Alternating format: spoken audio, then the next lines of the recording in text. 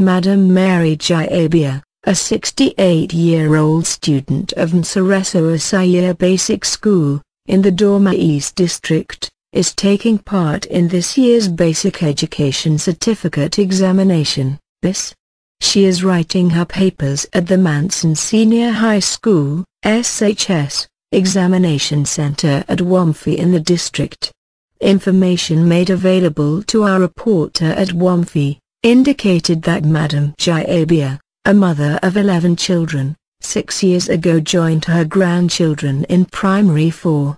Madam Gyabea said she was determined to continue her education to the SHS. A total of 2,146 candidates made up of 1,161 males and 985 females are participating in the BECE in the Dormaa Central Municipality and Dormaa West districts.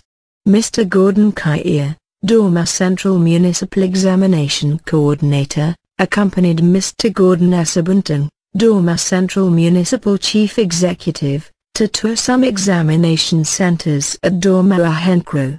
Mr. Kyere said that two female candidates failed to turn up for the examination because one of them gave birth on the eve of the examination and the whereabouts of the other is not known.